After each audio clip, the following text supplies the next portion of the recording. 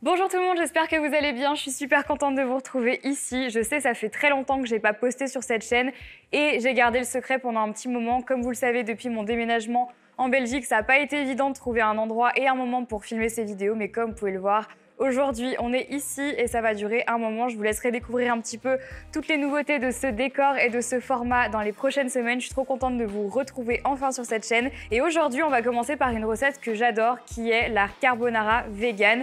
Vous avez été super nombreux et nombreuses à me demander dans les commentaires de faire plus de recettes végétariennes et végétaliennes. C'est ce qu'on va faire aujourd'hui pour cette vidéo. Je vais vous montrer les ingrédients et on va démarrer tout de suite.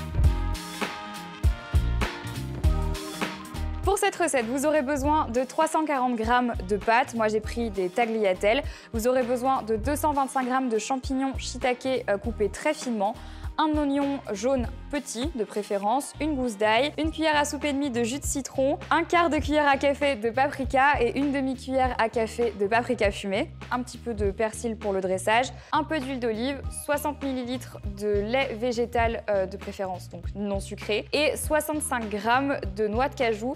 Celles-ci sont sèches, mais euh, il faut absolument qu'elles soient euh, trempées pour pouvoir faire cette recette. Donc moi, ce que je vous recommande, c'est de les faire tremper pendant toute une nuit, la veille avant de faire donc votre carbonara vegan parce que c'est ce qui va nous servir par la suite à faire la sauce et la crème.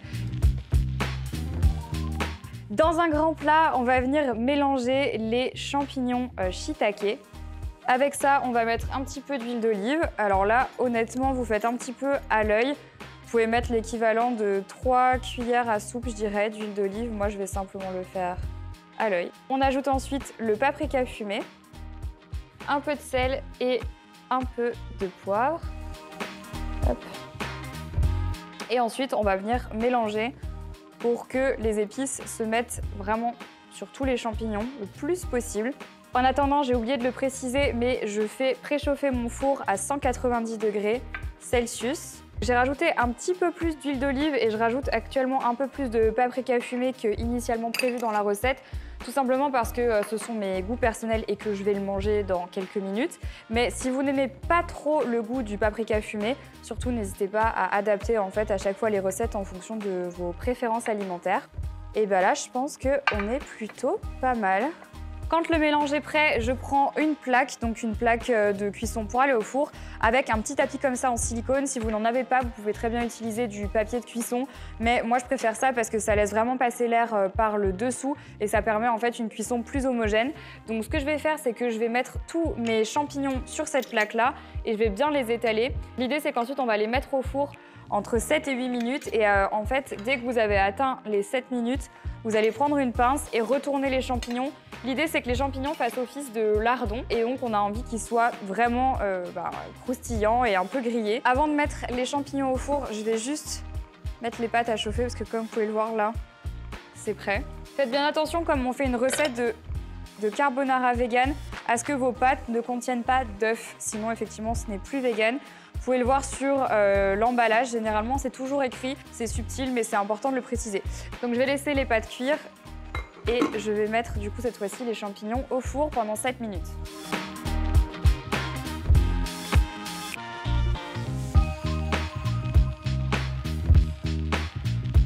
Mes pâtes sont bientôt cuites, j'ai fait chauffer une poêle à côté dans laquelle je vais gentiment faire revenir mon oignon et également euh, la gousse d'ail. Vous pouvez rajouter un petit peu d'huile d'olive si vous en avez envie. Moi, c'est ce que je vais faire. C'est pas obligatoire, mais euh, j'aime bien ça. Donc, j'en rajoute, comme on dit chez moi, une lichette. Et puis, je vais les faire revenir tranquillement. Et pendant que ça, c'est en train de revenir, je vais égoutter mes pâtes qui sont prêtes. Dans un blender, je vais venir donc préparer cette fois-ci la crème de la carbonara vegan. Je commence par bien mettre les noix de cajou qui auront donc trempé, comme je le répète, au préalable une nuit. Donc on va se servir du petit récipient, pas besoin d'avoir un très gros récipient, euh, la crème ne va pas être euh, énorme. On continue ensuite avec le lait végétal non sucré. Là en l'occurrence c'est du lait d'amande, vous pouvez prendre celui que vous voulez, on s'en fiche. Ensuite le jus de citron, le paprika normal, Et on termine par l'huile d'olive. Alors, je vais y aller tranquille avec l'huile d'olive. Je vais juste mettre la moitié. Et si jamais au premier mélange, il y en a encore besoin parce que j'estime que c'est pas assez euh, euh, liquide ou crémeux, alors j'en remettrai. C'est parti.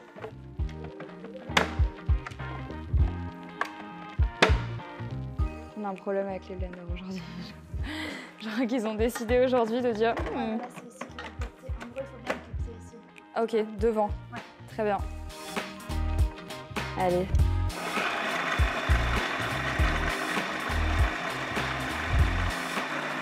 Comment tu l'arrêtes?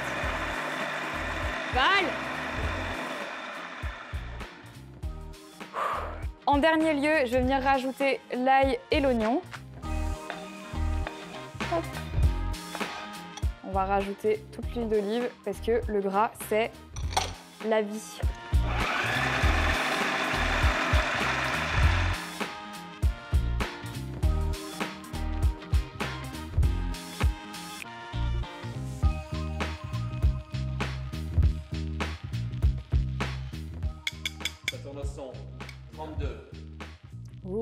C'est parti pour le dressage. Donc, on va prendre nos chères pâtes, nos tagliatelles. Hop. Alors, bien sûr, si vous êtes intolérant au gluten, n'hésitez pas à prendre des pâtes sans gluten. Moi, j'ai pris des tagliatelles parce que je trouve que c'est ce qui est le plus chouette à manger avec de la carbonara. Ensuite, on va rajouter un petit peu de sauce. Alors, comme vous pouvez le voir, il n'y en a pas énormément, mais si jamais vous voulez plus de sauce, n'hésitez pas à doubler toutes les quantités que je vous ai présentées et qui sont dans la barre d'infos. Et ensuite, on va rajouter les champignons shiitake par-dessus. J'ai trop faim. Je sais pas du tout comment je vais faire pour me retenir de manger ça. Je rajoute toujours, mais ça c'est mes goûts personnels, un peu de poivre et de sel. Maintenant vous n'êtes pas obligé, mais je trouve ça quand même chouette. Et on termine par un peu de persil frisé. C'est une option, si vous n'aimez pas ça, vous n'êtes pas obligé d'en rajouter. Et voilà Ouh, ça donne trop faim